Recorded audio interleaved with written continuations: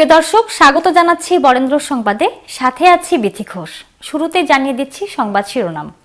রাজশাহীতে জনি হত্যাকারীদের ফাঁসি এবং ওসির অপসারণের দাবিতে এলাকাবাসীর মানববন্ধন।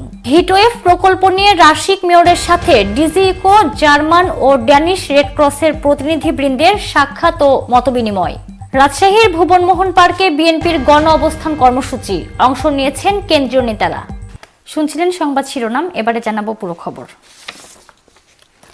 রাজশাহীতে শফিকুল ইসলাম জনের হত্যাকারী ভূমিদস্যু মাওলাবাবু ও তার ভাই শাহিন সহ সহযোগীদের গ্রেফতার করে দ্রুত বিচার ট্রাইব্যুনালে বিচার এবং রাজপাড়া থানা অফিসার ইনচার্জ সিদ্দিকুর রহমানের অপসারণের দাবিতে মানববন্ধন করেছে নিহত জনির স্বজন ও এলাকাবাসী।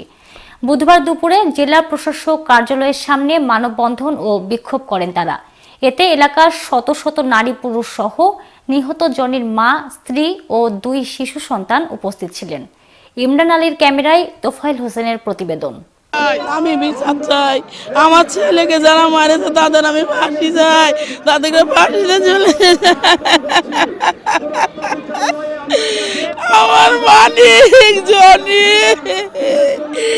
বাপ, তুমি বলতে চলে তোমাকে মারিয়ে ফেলাইছে। বাপ, তোমাকে কি করে মারেছে বাপ, তুমি কত মা বলেছ, বাপ বলেছ। আমার ছেলেকে মারে ফেলাইছে। আমার ছেলের দুটো বাচ্চা আছে, আমার বৌমা আছে। আমি কি করে রাখব? দুই সন্তানের জনক নিহত জনি নগরীর রাজপাড়া থানার চণ্ডীপুর এলাকার সিরাজুল ইসলামের ছেলে। চলতি বছরের পাঁচ জানুয়ারি চুরির অপবাদ দিয়ে হাত পা বেঁধে লোহার রড ও হাতুড়ি দিয়ে অমানসিক নির্যাতন চালায় এলিগ্রো রিয়েল এস্টেট কোম্পানির পরিচালক তৌফিকুর রহমান বাবু ওরফে মওলা বাবু ও তার ভাই শাহিন, প্রসেনজিৎ, কিশোর সহ অজ্ঞাত আরও চার থেকে পাঁচজন পরে সাত জানুয়ারি চিকিৎসাধীন অবস্থায় রাজশাহী মেডিকেল কলেজ হাসপাতালে মারা যায় জনি। এতে ফুসে ওঠে এলাকাবাসী। রাজপাড়া থানায় গিয়ে সহযোগিতা না পাওয়ার অভিযোগ করেন নিহত জনের স্বজনরা। আসামিরা প্রকাশ্যে ঘুরে বেড়ালেও থানা কোনো ব্যবস্থা নিচ্ছে না বলে অভিযোগ তাদের। এ সময় ওসির অপসারণ দাবি করেন তারা। রাতপাড়া থানার ওসি সাহেব, উনি কোনো গুরুত্ব দিচ্ছে না। দিন দুপুরে আসামিরা ঘুরে বেড়াচ্ছে। তারা কি আমাদের জনভাইকে আসামি কি বিচার পাবে না? তার মা কাঁদছে, তার অপরাধটা কি? বলে তার বাচ্চা দুইটা আছে, কাঁদছে। তার পুলিশ ময়লা বাবুর টাকা খেয়ে বসে আছে। থানার সামনে ওসি সাহেবকে মনে হয় একটা ফ্ল্যাট দিবে মনে হয় তার জন্য। আবার ওসি সাহেব মাওলা সাহেবকে গাড়ি করে পার করে দিচ্ছে। তা যে যে হাতে মাওলা বাবু টাকা খাচ্ছে ওই ওসির আমরা বদলি চাই আর কিছুই চাই না। থানা পুলিশ তো ধরছে না কারণ তারা তো ঘুরে বেড়াচ্ছে প্রকাশ্যে ঘুরে বেড়াচ্ছে তাদের অর্থ আছে টাকা দিয়ে দিয়েছে। ওসি ও থানায় ওসিকে থানা টাকা দিয়েছে পুলিশকে সব জায়গাতে টাকা মারছে টাকা আছে মনে করেন ঘুষখোর ছুট করে টাকা আছে ধরেন রাজপাড়া থানা আমাদের তো রাজপাড়া থানায়। সন্তান হারিয়ে পাগল প্রায় জনের মা। বুক ফাটা কান্না যেন থামছে না কোনোভাবেই। বুক চাপড়ে সন্তান হত্যার বিচার চান তিনি। আমি ফাঁসি চাই আমি শান্তি পাবো আমি আইনের কাছে বিচার চাই আমি তার জন্য আমি আইনের কাছে এসেছি। আমার থানায় বিচার করেনি তার জন্য আমি আইনের কাছে এসেছি। আমার আইন আমার সোনার বিচার করুক আমি মানব না। একটা কথা আর স্বামী হারিয়ে দুই শিশু সন্তান নিয়ে দিশেহারা জনের স্ত্রী। আমার স্বামীর মৃত্যুর বিচার চাই ফাঁসি চাই মাওলা বাবুর আমার দুই ছেলেকে এতিম করেছে, তাদের বিচার চাই আমি। তারা ঘুরে বেড়াচ্ছে, সামনে ওদেরকে ধরতে হবে, ফাঁসি চাই। প্রশাসনের কাছে বিচার নিয়ে গেছি, দেয়নি প্রশাসন বিচার এখনও। থানা পুলিশ এখনও লেয়নি বিচার, ঘুরাই দিয়েছে, এর জন্য আমরা বিচার চাই এখন।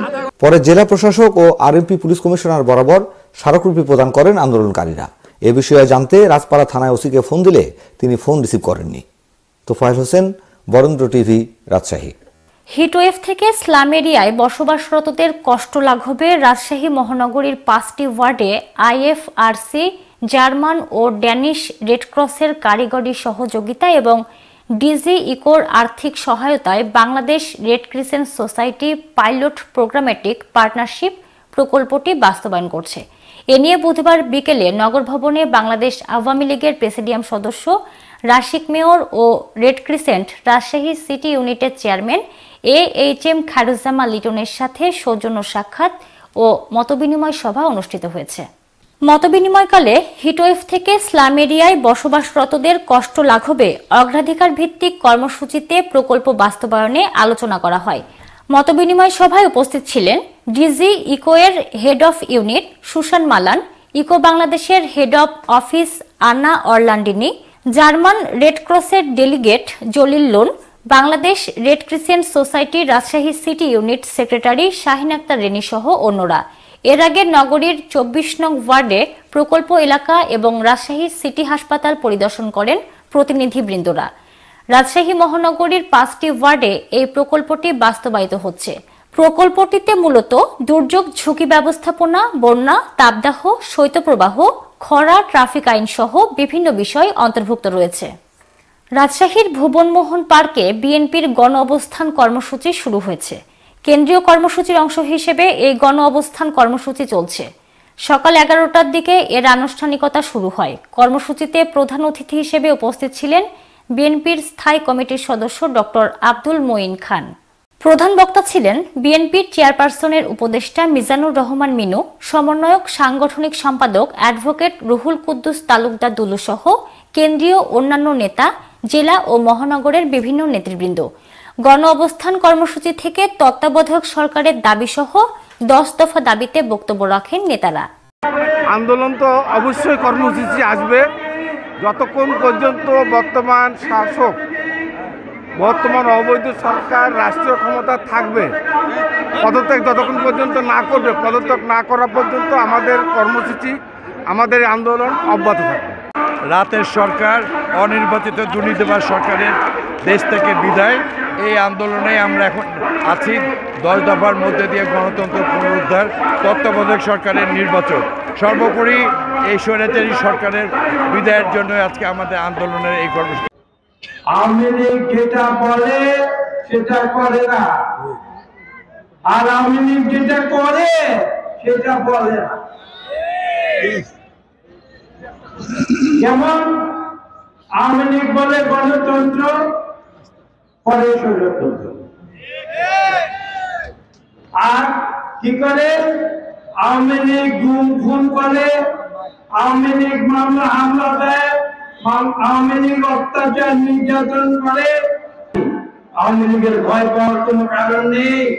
চাঁপাইনবাবগঞ্জের পানামা সোনা মসজিদ পোর্ট লিমিটেডে কর্মরত শ্রমিকদের মাঝে দুই হাজার কম্বল বিতরণ করা হয়েছে।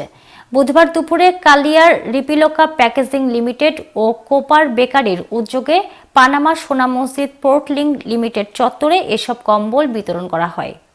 কার্যক্রমের উদ্বোধন করেন বাংলাদেশ স্থলবন্দর কর্তৃপক্ষের সাবেক চেয়ারম্যান ও পানামা সোনা মসজিদ পোর্ট লিংক লিমিটেডের উপদেষ্টা তপন কুমার চক্রবর্তী। এ সময় উপস্থিত ছিলেন সোনা মসজিদ শুল্ক স্টেশনের deputy commissioner Prabhat Kumar Singh, CEO Sheikh Salauddin ও পোর্ট ম্যানেজার মাইনুল ইসলাম সহ অন্যরা।